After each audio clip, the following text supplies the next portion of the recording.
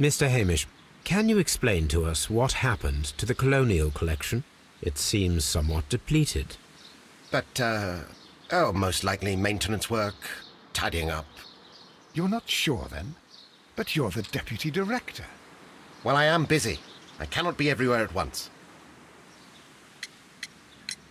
As deputy director, how was your relationship with Montague Dunn? To be honest with you, Mr. Holmes, it could have been better. You see, every Tuesday he would carry out his inspection of the gardens, but it was solely to make an impression, great pretense that he cared at all. He would give out absurd orders, ignoring anyone else's opinion. He would then disappear for the rest of the week. He was what some might call a man of action. I'd say rather he was overzealous and chaotic. So after all, it was no wonder, perhaps, that he ended up like that, if you take into consideration his kind of lifestyle. You mentioned that Mr. Dunn led a particular lifestyle. Well, it's no secret that he enjoyed, uh, celebrating, shall we say? He was a member of the London Smart Set. He was famous for it. That and... And... He had an eye for the ladies, to put it mildly, Mr. Holmes. Mr. Hamish, can you tell us who holds the keys to the locked greenhouses? That would be Albert, Mr. Dunn's son. Yes, Albert keeps all the keys, and one can only imagine why.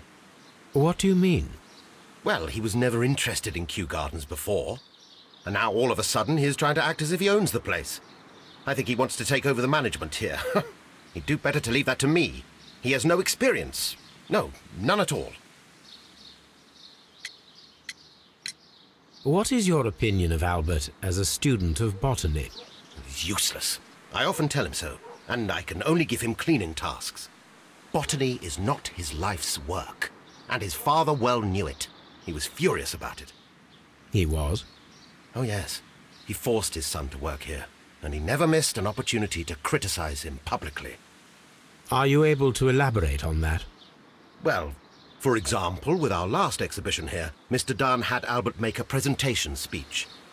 But then, while the lad was speaking, Mr. Dunn interrupted him, asking him difficult questions, making him look like a failure. It was with the intention of making a fool of him, Mr. Holmes. That must have been terribly humiliating.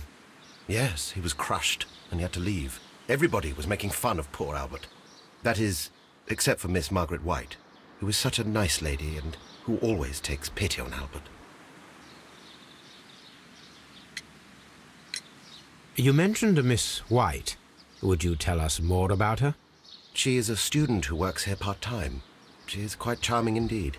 She possesses a great talent for botany. You should take a look at some of her experiments that she carried out in the laboratory. Ah, if only she were not so naive. Why naive? The way she used to flutter around Mr. Montague Dunn. And he, why, he couldn't help but be flattered by all her attention.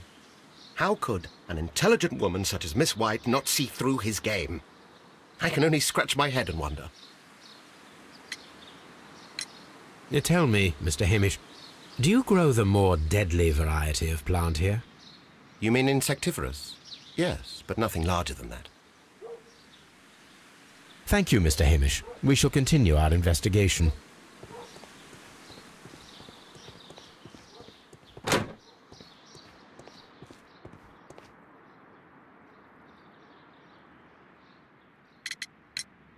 Who is Miss Margaret White? Ah, she is the young lady who studies with me. She visits here sometimes to help out with the greenhouses. In fact, she should be here today. She wanted to work at the seed house. That's the small greenhouse across from the large glass house. We noticed that a part of the colonial collection has been cleared. Ah, at the moment I'm just dealing with the storage room. I don't know much about the other rooms. I imagine that your relationship with your father may have been a strained one. Yes. I cannot say that he was a kind man, for he never listened to me at all. He forced me to work here. But now, after his death, I've been pondering it over. Perhaps he wasn't so wrong about me after all. I have to follow his path, and I have to manage Kew Gardens, and I can do it. I can be as good as any other who works here. Would you please tell us about Martin Hamish, the Deputy Director? Well, I have to tell you that Mr. Hamish is not and has never been the Deputy Director of Kew Gardens. My father would not have tolerated it. Indeed?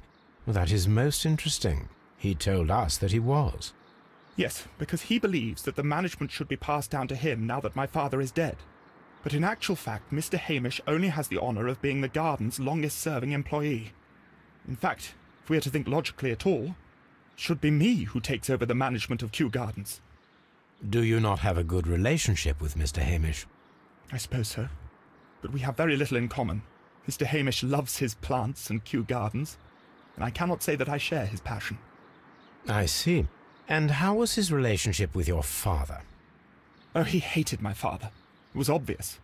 He would be furious whenever my father boasted of Kew Gardens in the newspapers or at conferences. He was convinced that my father was stealing all of the credit for himself. That my father treated Mr. Hamish in the same way as he treated anyone dismissively, with indifference. Do you hold the keys to all of these locked doors? Yes, you can have them. But I cannot give you the keys to the cloakroom. The employee's effects are private. I am sure you understand. Thank you, young man. We shall see you again soon.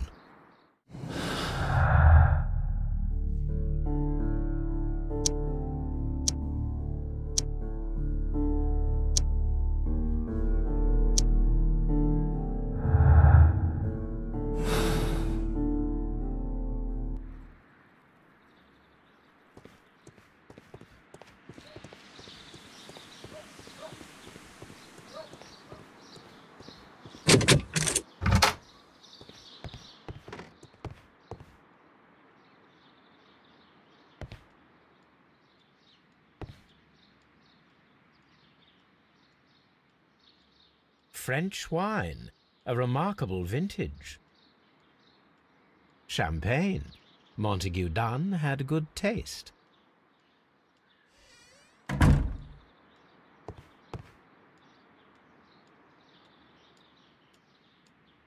Newspapers discussing Kew Gardens.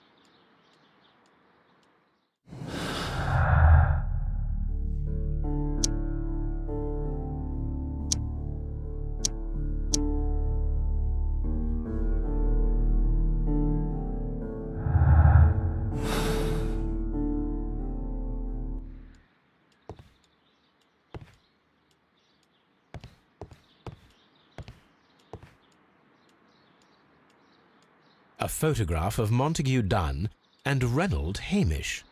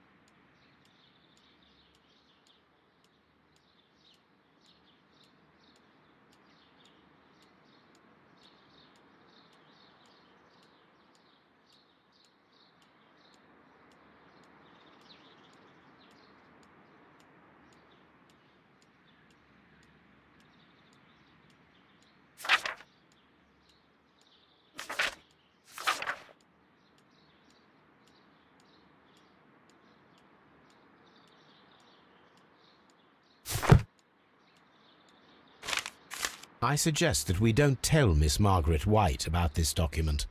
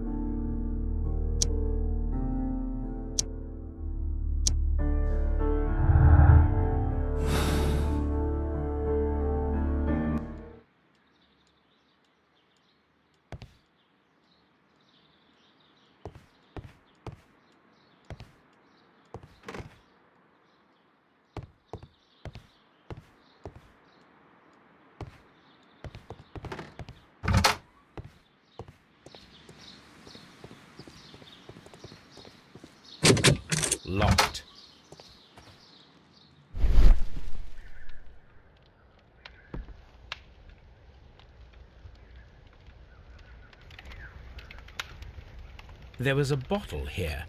It left behind a trace of the substance that pervaded the laboratory. Gold dust? Good heavens. What's it doing here? The gold is almost immune to chemical attacks, so it may be a valuable auxiliary for various experiments. But why would anyone perform such experiments in a botanical garden? Several drops of the substance were spilled. Someone carried this bottle around. Several drops of the substance were spilled. Someone carried this bottle around. The bottle is no longer here, but it is possible to detect a faint scent.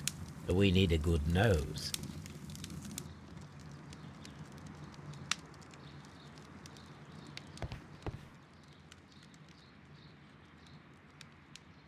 It appears as though the protective equipment is missing from here.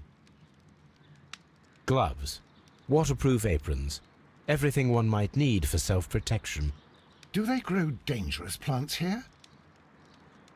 Such masks are generally worn when dealing with toxic chemicals.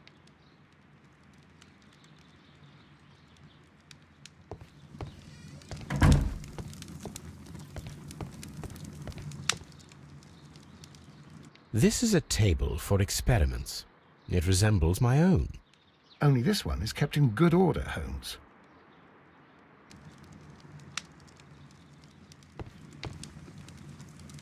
A phonograph used for voice recording. Remarkable. Yes, this is quite a modern laboratory.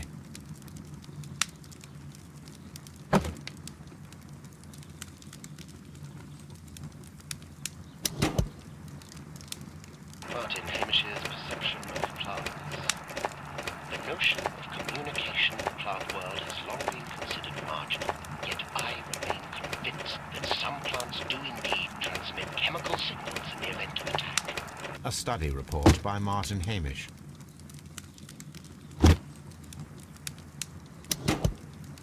And it seems clear from these multiple experiments that plants do respond to their environment and have a form of consciousness.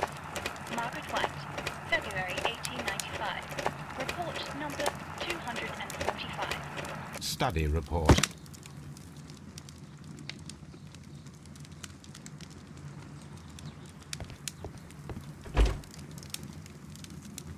Chemicals.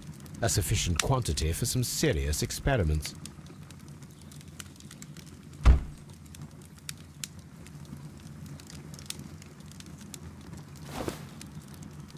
A botany book.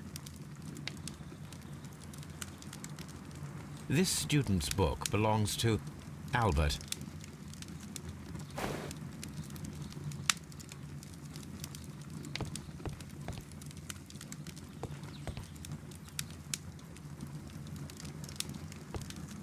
the employee's cloakroom.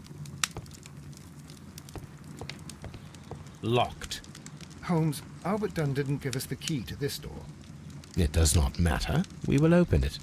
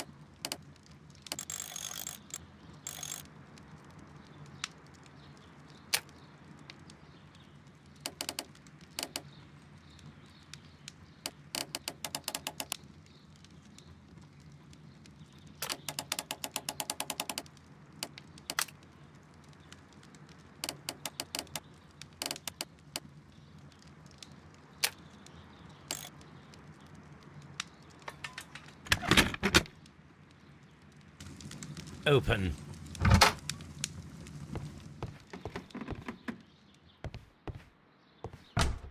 Miss White's locker.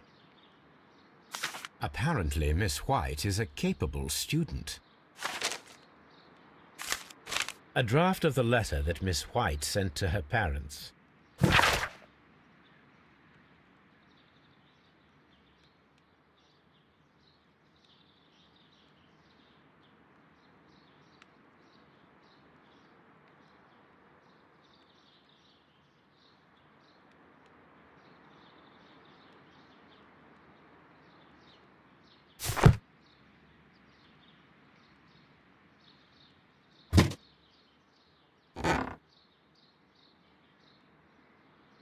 These jewels must be worth a small fortune.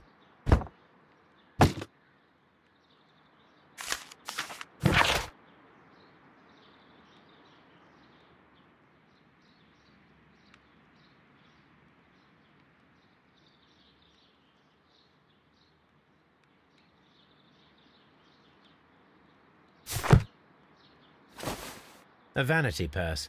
It is of high quality.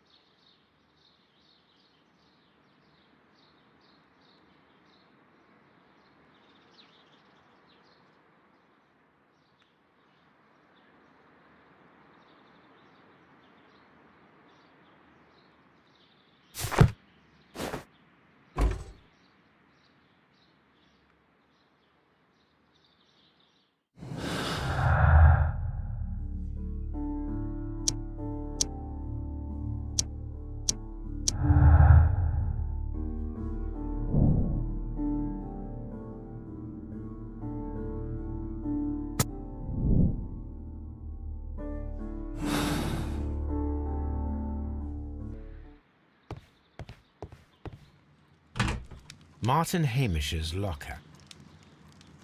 A review on rare and exotic plants. Martin Hamish has written several pieces.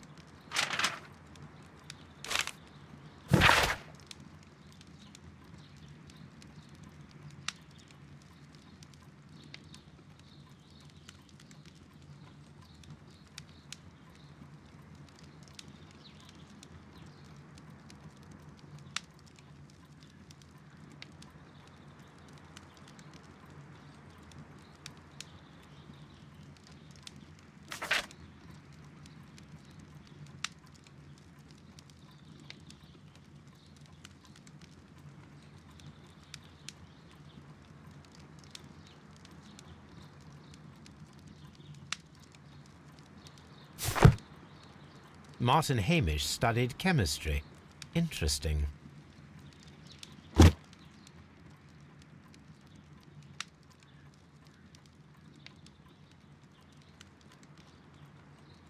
Father and I, Kew Gardens.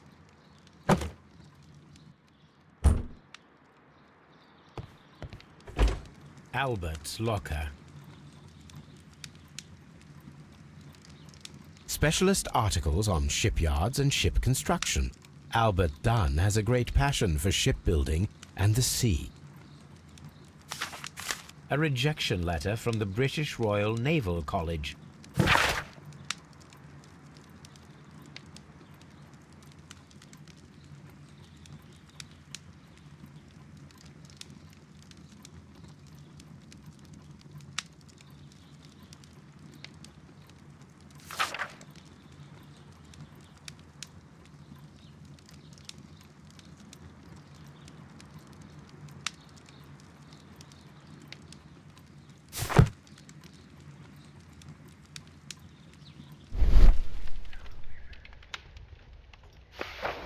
Young Albert, standing with a woman in front of London University.